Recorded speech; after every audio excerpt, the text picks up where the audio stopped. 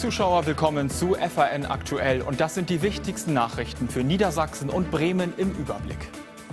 Ohne ehrenamtliches Engagement sind soziale Herausforderungen nicht mehr zu meistern. Dieser Meinung ist Regierungschef Stefan Weil. Es sei wichtig, den Einsatz der vielen freiwillig aktiven Niedersachsen sichtbar zu machen und zu ehren, betonte der SPD-Politiker am Samstag zum Tag der Ehrenamtlichen. Freiwillige Arbeit sei nicht selbstverständlich, sie erhöhe jedoch die Lebensqualität und bereichere das Miteinander. Bundesweit nehme Niedersachsen einen Spitzenplatz ein. Rund 2,8 Millionen Niedersachsen engagieren sich ehrenamtlich. Zum Semesterstart versuchen viele Städte in Niedersachsen mit Begrüßungsgeschenken Studenten zu werben. Junge Leute werden in Osnabrück mit einer Geldprämie von 100 Euro in die Stadt gelockt. In Holzminden bekommen Studierende sogar für jedes Semester 100 Euro. Einzige Voraussetzung, die Studenten müssen in der Stadt ihren Hauptwohnsitz melden. Wenn sie ein Jahr lang dort gemeldet bleiben, bekommen sie das Geld.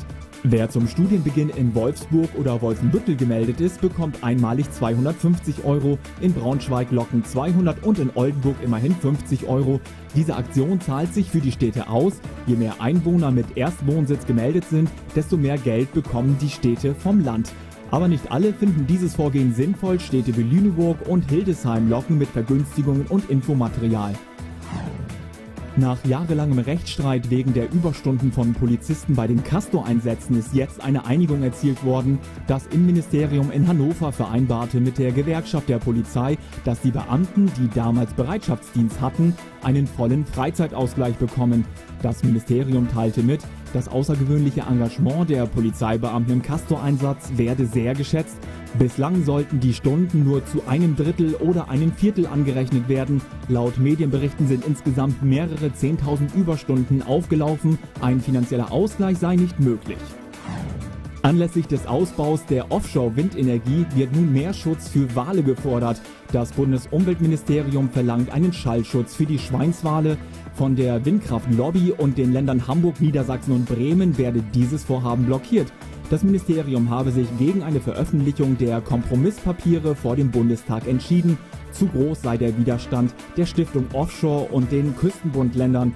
Greenpeace und andere Naturschützer bemängeln dieses Vorhaben. Es werde erneut hinter den Kulissen verhandelt, um Zugeständnisse zu erzwingen. Am Wochenende wurde der Windpark Saterland offiziell eröffnet.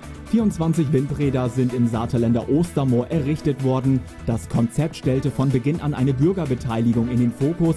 Nun drehen sich 11 Windräder für Eigentümer und 13 für die Bürger.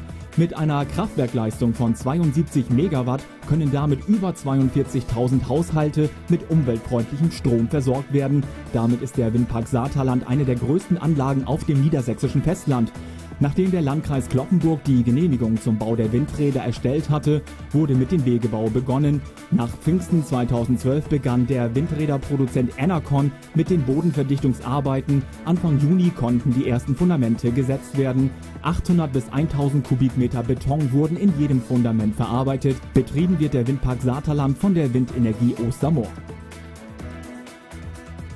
Soweit die wichtigsten Nachrichten für Niedersachsen und Bremen im Überblick. Ihnen weiterhin gute Unterhaltung mit unserem Programm. Jetzt direkt im Anschluss gibt es noch das aktuelle Wetter und in wenigen Minuten folgt dann meine Sendung im Gespräch. Dort begrüße ich gleich einen prominenten Gast aus Niedersachsen und Bremen. Seien Sie gespannt, wer es heute ist. Das war F1 aktuell. Ihnen noch einen schönen Tag. Bis dann.